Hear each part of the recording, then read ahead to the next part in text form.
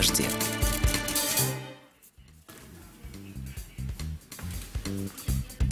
Добрый день, я Иванов Игорь, и это «Деньги на дожде». Обама а, начинает перестройку в США, чтобы сделать Соединенные Штаты лучшим местом для инноваций в мире. А, в Давосе начинается экономический форум, а, традиционно ежегодный, в центре внимания которого в этот раз развивающиеся страны, в том числе и Россия. И, наконец, а, американский исполнитель э, в жанре хип-хоп Уилл М. стал креативным директором корпорации Intel. А, собственно, последняя новость э, невеселая сегодняшнего дня. А, ну, собственно, вчера еще обвалилась крыша в петербургском гипермаркете «Окей». Сегодня акции компании валятся на лондонской бирже, теряют более 6%. А, сеть объявила о закрытии всех гипермаркетов в Санкт-Петербурге.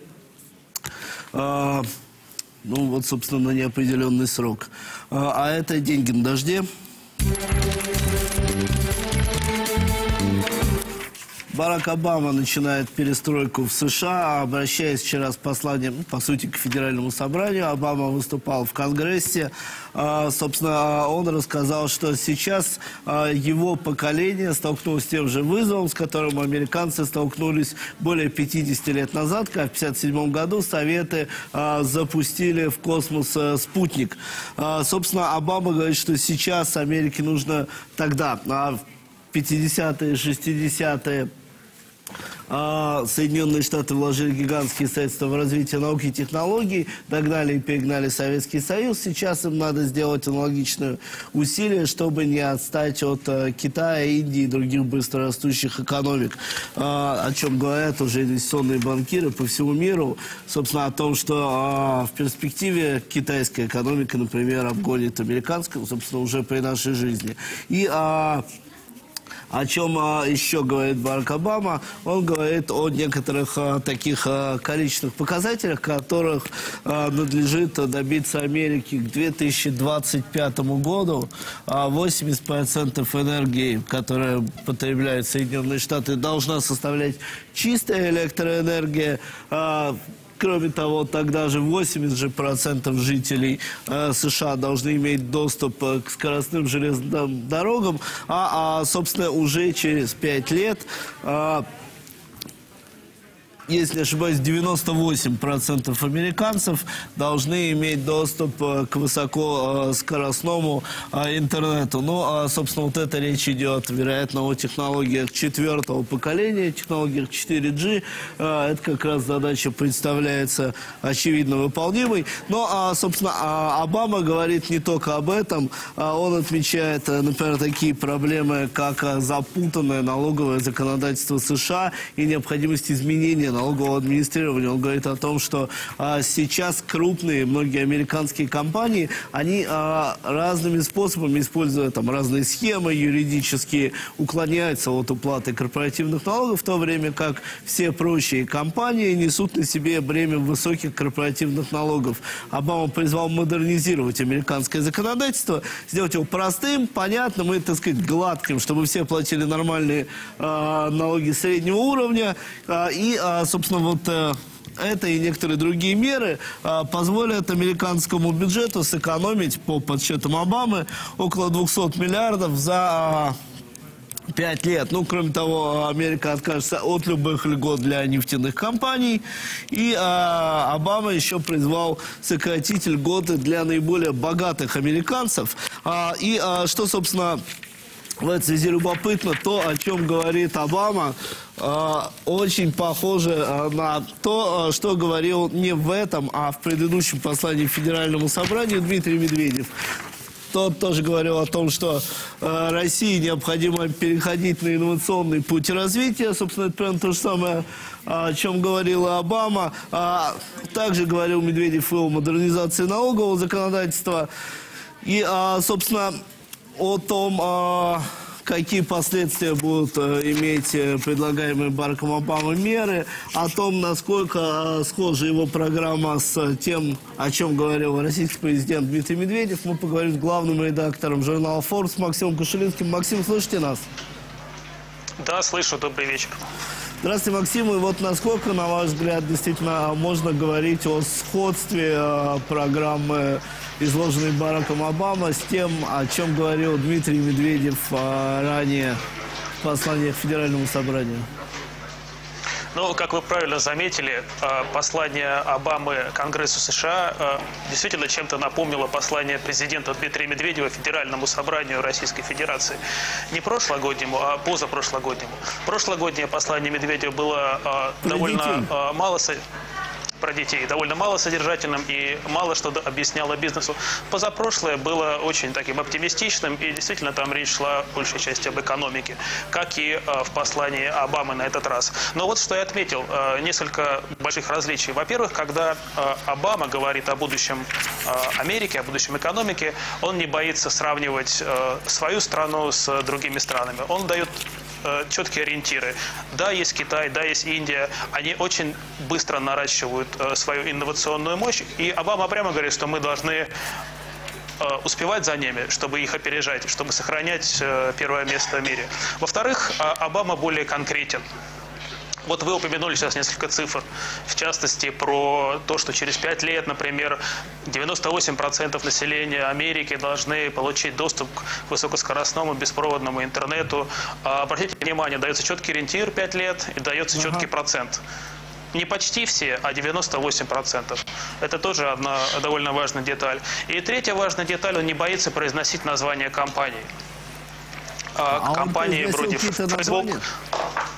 Он говорил о Фейсбуке, он говорил о Гугле, а, в том смысле, что это национальное достояние. И это тоже а, очень сильный такой сигнал а, бизнесу. И как мы видим, как мы видим по комментариям, бизнес в принципе воспринял речь Обамы очень положительно. Хотя он по большому счету не обещал никаких серьезных поблажек. Ну да, вот э, упорядочить налоговые законодательства и так далее. Но в целом это вот искусство политики, искусство произнесения речей а, и а, искусство обещаний, которое вселяет надежду в а, американские компании и в бизнес в целом. Спасибо. С нами был Максим Кошелинский, главный редактор журнала Forbes. Максим комментировал послание Барака Обамы, которое он произносил в Конгрессе.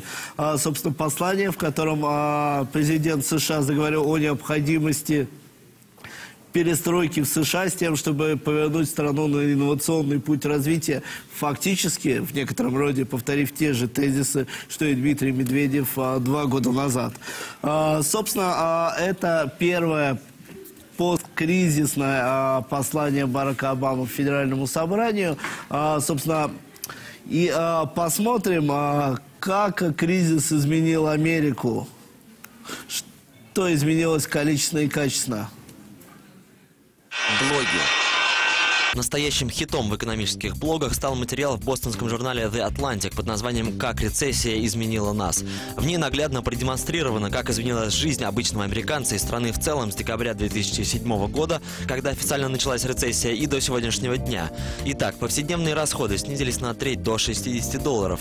Количество статей в газете «Нью-Йорк Таймс», где встречается слово «неопределенно», выросло на 40%. Более чем в полтора раза увеличился объем налогов, собранных с продажи огнестрельного оружия. Каждый четвертый молодой человек в возрасте до 29 лет вернулся жить в родительский дом, а количество американцев, живущих за чертой бедности, выросло на 10 миллионов до 43 миллионов человек. Уровень безработицы вырос более чем в два раза до почти 10%, а доля безработных, которые не могут трудоустроиться более полугода, подскочила с 18 до 42%. Число домов, отобранных у их владельцев из-за невозможности выплатить ипотеку, увеличилось почти в два раза до 2 миллионов. Количество обанкротившихся банков подскочило в 12 раз до более чем чем 300. Крупнейший онлайн-аукцион eBay потерял около 10 миллиардов долларов или четверти своей рыночной капитализации. Тем временем капитализация магазинов под вывеской «Все за доллар» удвоилась и превысила миллиард. Число штатов, не способных выполнить запланированный бюджет, взлетело с 1 до 48, а дефицит федерального бюджета увеличился в 8 раз до 1,3 триллионов долларов или 8% ВВП. Штат федеральных служащих расширился на 13%, активы Федеральной резервной системы увеличились в 3 раза до 2,3 триллиона долларов. Наконец, доля американцев, положительно отзывающихся о Саре Пейлин, удвоилась и составила 40%. В то же время рейтинг одобрения действий президента Обамы упал на треть до 45% блоги.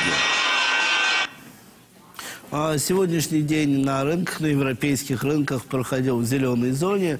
А, надо сказать, что евро а, росло к доллару, доллар падал.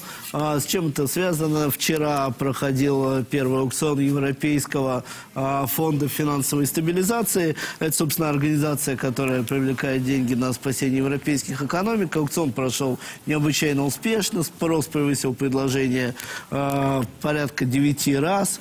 А, ну и, собственно, доходность... доходности бумаг э, оказались ниже ожиданий. А курс евро находится на локальных максимумах, составляет 1,37 к доллару США.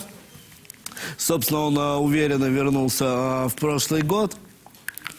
А, На а, российском рынке происходит э, тоже рост, а, растет э, цена на нефть, и сегодня рынок прибавил примерно 1%. А, Собственно, было сегодня два хита, это «Газпром», который прибавил 3%, около 3%. Это связывают с техническими причинами. «Газпром» был перепродан и сейчас отыграл свое падение. И компания ФСК, федеральная сетевая компания, структура, которой принадлежат все электропровода в стране, выросла на, и выросли ее акции на 5% на э, обещаниях о том, что ФСК пройдет листинг на лондонской фондовой бирже уже в первом квартале этого года. Это, собственно, вызвало такой прилив энтузиазма. Из кубку все ожидают, что э, акции будут расти. А, собственно, а, еще сегодня поступили новости о двух а, а, IPO. А, прежде всего, хотел сказать об IPO компании Glencore, которую путанирует вот этот человек, Натан Ротшильд, а, собственно, наследник а, династии Ротшильдов.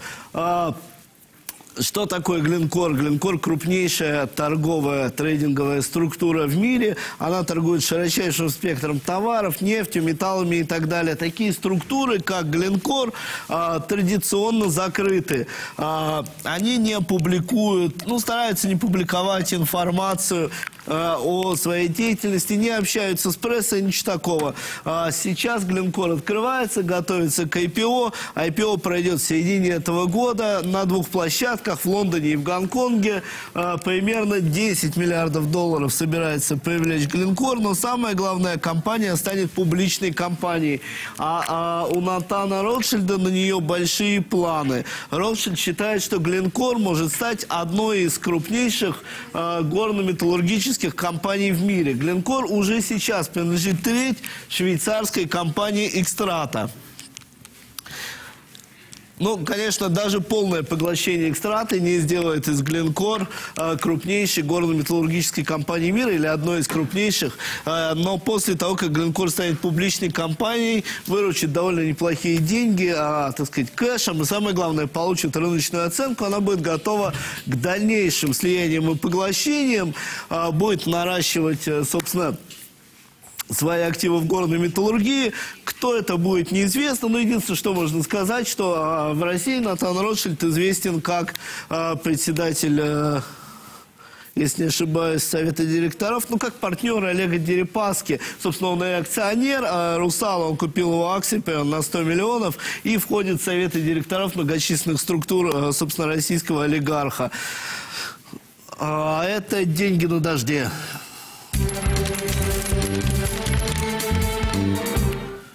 Главная, пожалуй, новость сегодняшнего дня, новость, которая еще не случилась. Сегодня в Давосе открывается ежегодный международный экономический форум, который, как считается, самый представительный э, в мире. А, собственно, главное, так, ну, не главное, но одна из главных агент этого года, ну, то есть событий, это то, что необычайно высоко представительство развивающихся стран. От них приехало более 350 топ-менеджеров. Это рекорд вот, э, Мирового экономического форума в Давосе. Абсолютно. И это, как э, считают многочисленные комментаторы, отражает э, рост роли э, развивающихся стран в мировой экономике. А, как, собственно, говорил еще до начала кризиса бывший премьер-министр Британии Тони Блэр, центр силы смещается на восток. И, собственно, э, уже сейчас, э, например, если э, проанализировать сделки а, вот это, собственно, а, исследование PricewaterhouseCoopers, ежегодный опрос менеджеров, который они выпустили к форуму в Давосе. И, собственно, это исследование показывает, что, а, в принципе, в хорошем настроении а, все бизнесмены приехали в Швейцарию. А, уровень оптимизма достаточно высок. По сути, он вернулся на докризисные уровни. А, все, собственно, а, ожидают роста прибылей. А, Собственно, у всех дела идут хорошо, можно сказать, отлично. Единственный, пожалуй, минус – это то, что еще один опрос, который перед швейцарским форумом провело агентство Bloomberg, он а, показал что инвесторы, мягко говоря, сомневаются а, в безоблачном будущем а, единой европейской валюты. А, большинство опрошенных Блумбергов специалистов говорят, что, по крайней мере, одна из стран, их, по-моему, 16, которые входят в зону евро, выпадет из этой зоны. Причем значительная часть инвесторов считает, что это произойдет уже в этом 2011 году. Ну, то есть понятно, кто является слабым звеном. Это Греция, которая собственно, выкупали, спасали от банкротства. Это Ирландия э, и это может быть Португалия. Кстати, никто не сомневается в том, что в Испании все будет нормально, а вот одна из этих стран может уже в этом году выйти из зоны евро, ну, или сама, или же ее попросят. Ну и, очевидно, прием новых стран в зону евро временно откладывается, конечно же, на фоне а, таких проблем. А это деньги на дожде.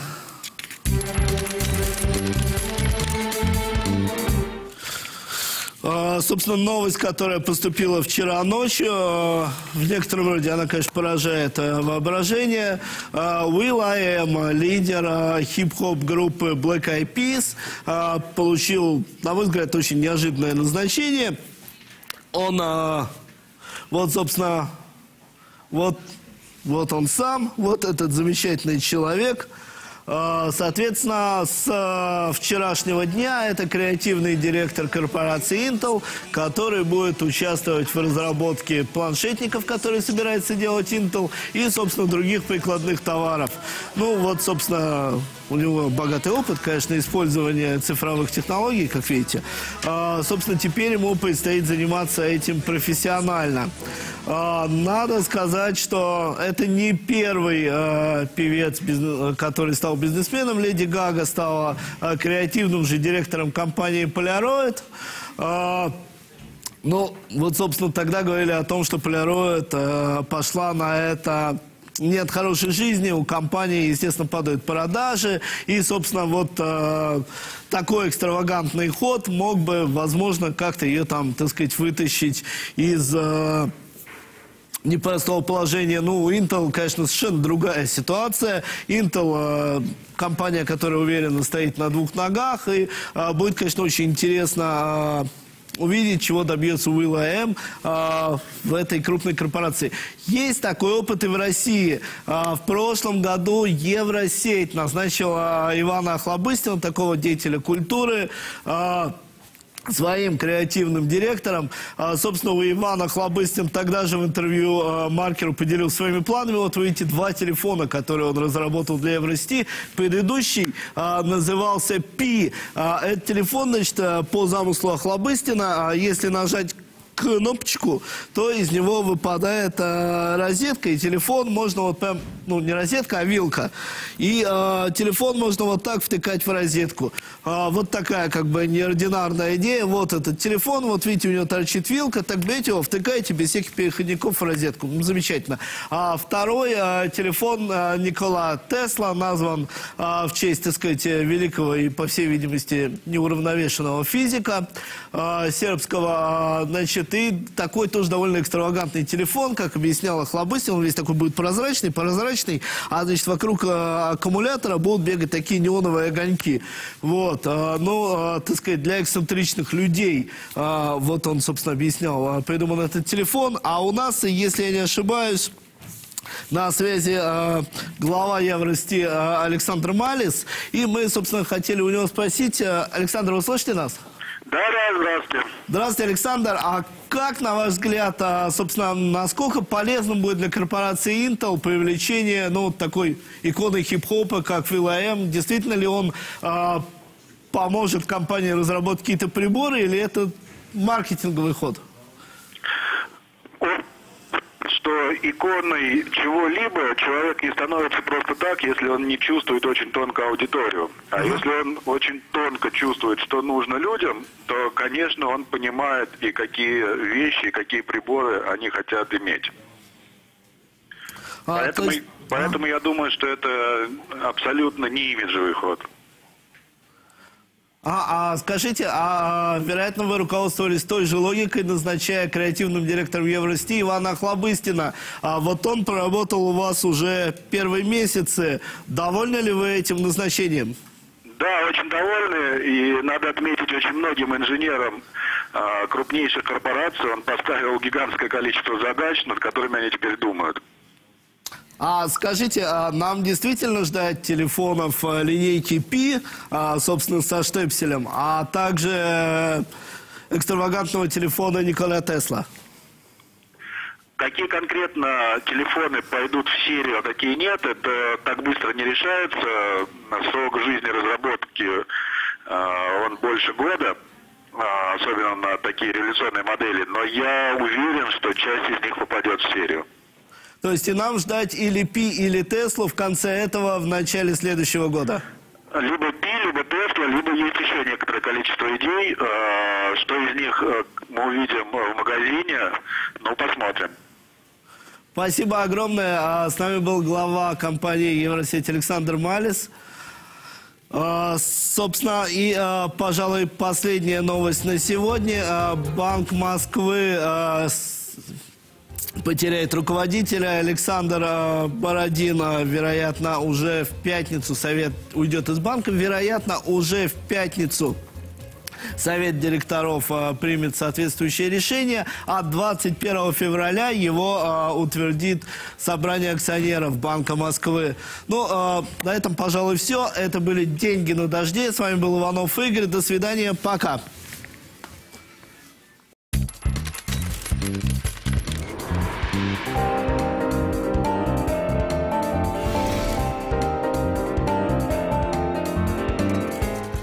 Деньги на дожде.